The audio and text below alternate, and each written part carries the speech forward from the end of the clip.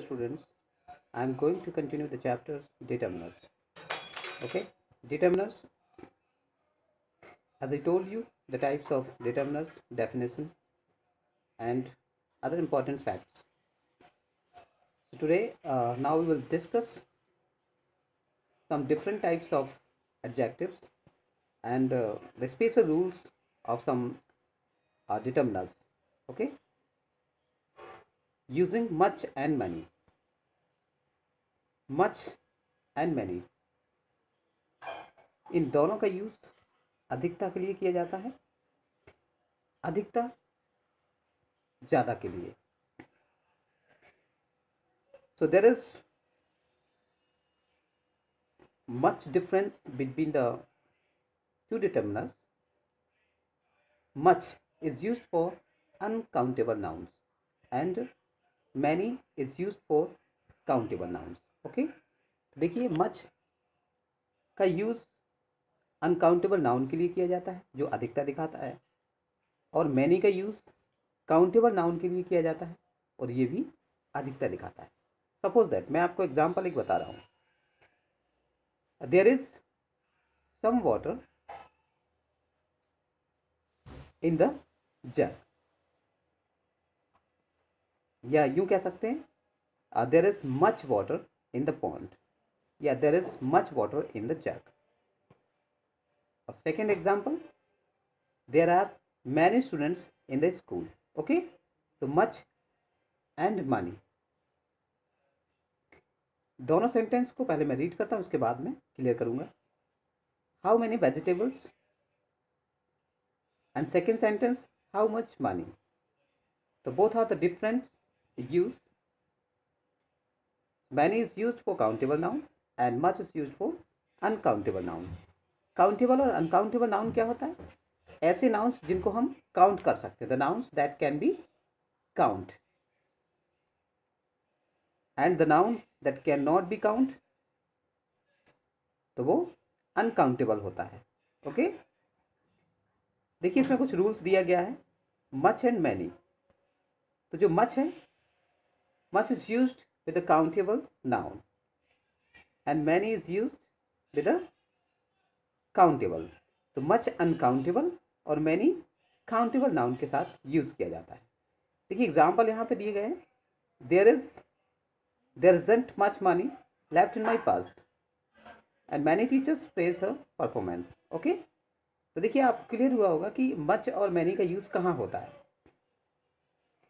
तो आपको एक बात समझनी है कि इन दोनों का यूज़ असर्टिव में भी होता है नेगेटिव में भी होता है इंटेरोगेटिव में भी होता है। ओके बट जो एक डिफरेंट हाँ जो मेन डिफरेंस है, वो क्या है? कि एक का यूज़ काउंटेबल के साथ होता है और दूसरे का यूज़ अनकाउंटेबल के साथ। बस इस चीज़ को आपको ध्यान में रखना है। ओके तो मच अनकाउंटेबल नाउन के लिए यूज़ किया जाएगा और मैनी काउंटेबल नाउन के लिए यूज़ किया जाएगा। ओके तो देखिए यहाँ पर चूज़ द करेक्ट आंसर यहाँ पर कुछ सेंटेंसेस दिए गए हैं। इसमें से आपको जो आंसर करेक्ट है, उस पर टिक करना है। जैसे फ़र्स्ट सेंटेंस को मैं रीड कर रहा हूँ। There there are many oblique much तो देखिए, इसमें मैनी या मच में से आपको एक टिक करना है। Vineyards in the France. So, the, that is the reason why they many oblique much wine.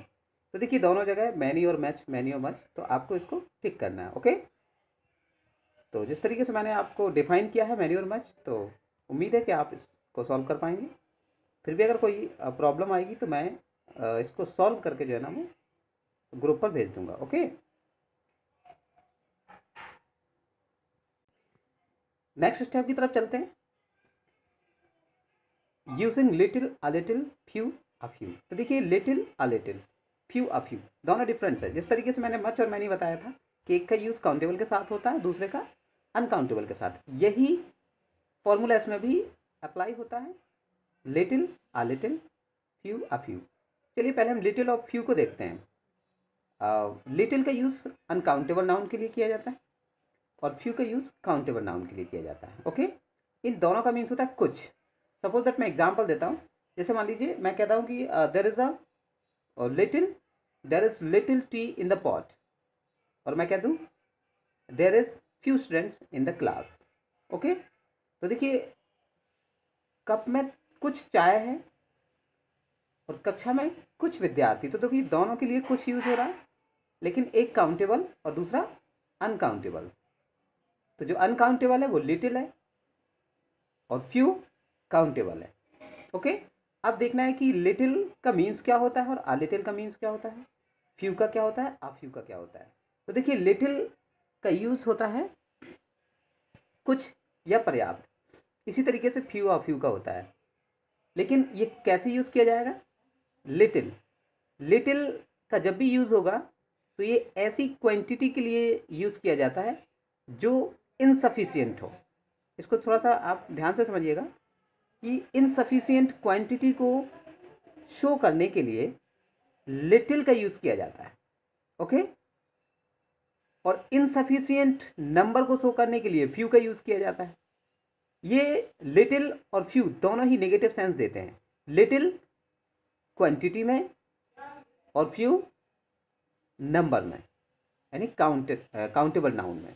दोनों ही इनसफिशियंट सपोज़ दैट मैंने आपसे एक एग्जांपल दिया कि there is little milk in the pot तो बर्तन में कुछ दूध है मतलब ये नेगेटिव सेंस कुछ दूध मतलब ना के बराबर है। जिसका कोई उपयोग नहीं किया जा सकता। ओके तो ये नेगेटिव सेंस हो गया लिटिल और इसी तरीके से मैं अगर फ्यू बोलूँगा कि there is few students in the class तो स्टूडेंट्स इतने कम हैं कि टीचिंग लर्निंग प्रोसेस नहीं हो सकती है। तो दोनों का ही सेंस क्या है? निगेटिव है। निगेटिव सेंस यानी इनसफिशियंट नंबर और क्वांटिटी के लिए दोनों का यूज़ किया जाता है। I hope you will understand इसके बाद आता है a little a few a little a few दोनों ही पॉजिटिव सेंस देते हैं, एक काउंटेबल में और एक अनकाउंटेबल में. ओके काउंट अनकाउंटेबल में a little a little means होता है सफिशियंट क्वांटिटी मतलब पर्याप्त मात्रा. और अफ्यू होता है इनसफिशियंट नंबर सॉरी हाँ सफिशियंट नंबर अफ्यू क्या आएगा? सफिशियंट नंबर अब देखिए मैं फिर से एग्ज़ाम्पल की तरफ़ चलता हूँ.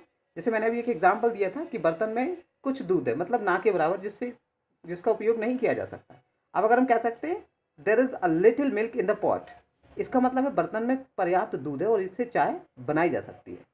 ओके इसी तरीके से हम कह सकते हैं there is a few students in the class मतलब क्लास में कुछ स्टूडेंट्स हैं कि टीचिंग लर्निंग प्रोसेस संभव हो सकती है। तो दोनों में डिफरेंस आपको समझ आया? There is a very big difference between little and few तो ये जस्ट अपोजिट हो जाता है। ओके तो इसको समझना है। तो उम्मीद है कि आप इसको समझ गए होंगे। आ, इसके बाद ये एक्सरसाइज जो है ना दी गई है। इस एक्सरसाइज को आपको क्लियर करना है। देखिए इस एक्सरसाइज में क्या दिया गया है? Complete this sentences using the correct adjective अब उसी तरीके से जैसे कि मैंने मैनी और मच में आपको बताया था इसी तरीके से इसमें है। तो little a little few a few अगर आप अच्छे तरीके से समझ गए होंगे तो निश्चित है कि आप ये एक्सरसाइज कर पाएँगे। और बहुत अच्छे से कर पाएँगे। फिर भी कोई प्रॉब्लम अगर आती है तो मैं इसका जो है ना जो आंसर आपको सेंड कर दूँगा, ओके? तो देखिए, मैं एक एग्जाम्पल्स इसमें पढ़ के आपको बताता हूँ। These boys do dash little a little exercise अब देखिए exercise that's why they are so unhealthy तो देखिए एक्सरसाइज को हम काउंट कैसे कर सकते हैं? समझना है इस चीज़ को। तो ये तो अनकाउंटेबल है तो इसमें लिटिल और लिटिल दोनों है तो कन्फ्यूज़न होने की ज़रूरत नहीं कन्फ्यूज़ होने की ज़रूरत नहीं कि ये लिटिल आएगा, कि अब फ्यू आएगा, क्योंकि अगर फ्यू और लिटिल होता तो थोड़ा सा दिक्कत होती।